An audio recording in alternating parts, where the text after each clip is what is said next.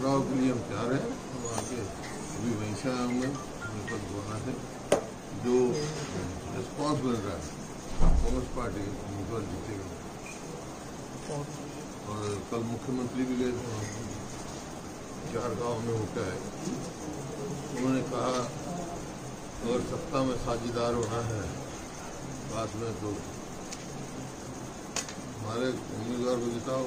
दूर रहना इस किस्म की जो है। प्रलोभन देना।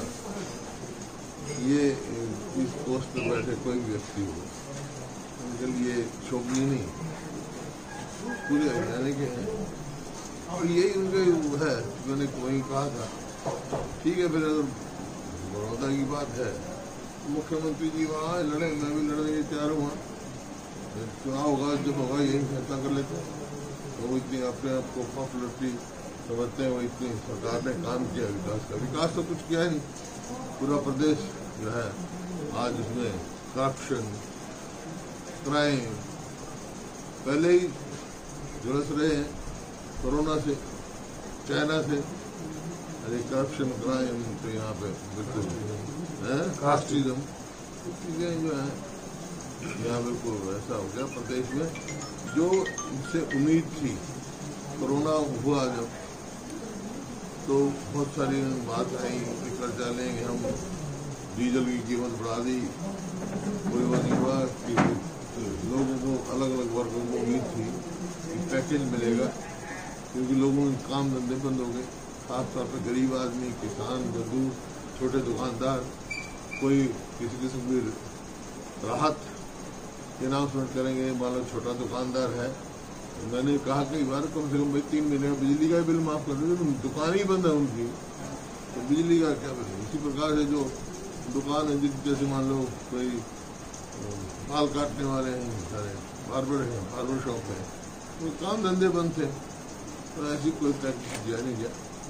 किसान के लिए बोनस की बात कही थी। मुख्यमंत्री ने कहा था, मुख्यमंत्री ने, गेहूँ के लिए कि वे केंद्र सरकार का इंतज़ार करेंगे। वो नहीं देगी तो अपना हरियाणा को देगी किसी को किसी को राहत नहीं दी गई, बल्कि किसान के लिए तो लागत इतनी बढ़ा दी गई कि उसकी अपनी जो है वो भी नहीं मिलेगी और एमएसपी का बढ़ावा बढ़ा ही नहीं। तो हर वर्ग जो है ये जो उम्मीद थी, वो ना उम्मीदी में बदल चुकी और लोग यही उसका बड़ौदे में भी बात है। कांग्रेस का पार्टी का जो उम्मीदवार है भारी वर्ग मेरा पानी मेरी विरासत की बात करते हैं मक्के का एमएसपी भी नहीं मिल रहा है। हम्म? मेरा पानी मेरी विरासत की बात करते हैं और ये कहते हैं कि मक्का लगाओ उसके लिए हम सात हज़ार रुपये पर एकड़ देंगे लेकिन एमएसपी भी नहीं मिल रहा। जो पिछली बार डीएसआर की स्कीम लाई थी वो दिया लोगों को दिया था। जो आठ सौ रुपये मक्का। मक्का। आठ सौ सात सौ। रुपये और और इम्पोर्ट कर। जबकि एमएसपी भी नहीं मिल रही। और कह रहे मक्का लगा लो। तो ये इस, उसका मैंने इस बात का कड़ा विरोध किया था। ये इस बहाने से कि डार्क जोन हुआ अगर डार्क जोन खत्म करने की बात थी तो दादूपुर नलवी नहर को क्यों हटाया उन्होंने? वो इसी के लिए तो थी। और खुद ही खुदाई नहर ही सरकार ने उसको उसको खुदवाओ। जो तालाबों का पानी भरो अब सात महीने नहीं सत्तर दिन के करीब ये चलेगा। मानसून सेशन आपका लंबा समय चलेगा। तो इस टाइम तो अगर धान नहीं बोएगा किसान तो क्या बोएगा भाई? तो ये मतलब जो ऐसे फैसले, जो जन विरोधी फैसले हैं उसकी वजह से मैं कह रहा हूँ। उम्मीद जो थी, ना उम्मीद ही मदद हुडा साहब कल विधायक दल की बैठक बुलाई है आपने। उसमें क्या निर्णय होने जा रहा है? नहीं, उसमें बात करेंगे एक तो बड़ौदा चुनाव के बारे में और जो आज स्थिति है, उसके बारे में चर्चा करेंगे। गुरुवंत भगवंत सिंह पन्नू हैं। यूएसए से कई बार फ़ोन कर रहे हैं, हरियाणा के हरियाणा को अलग अलग करने की बात कर रहे हैं कि हरियाणा को वापस पंजाब में शामिल कीजिए जबकि उसको हरियाणा सरकार और केंद्र की सरकार में आतंकवादी विरोधी करार दे चुके हैं जी और कौन? गुरु गुरु भगवंत सिंह पन्नू नाम है जी। अलगाववादी नेता। अलगाववादी वो इंग्लैंड से खालिस्तान का नारा लगा रहे हैं जी। में क्या सर उसको? तो ऐसे हैं वो वो तो रा, राष्ट्र विरोधी लोग हैं।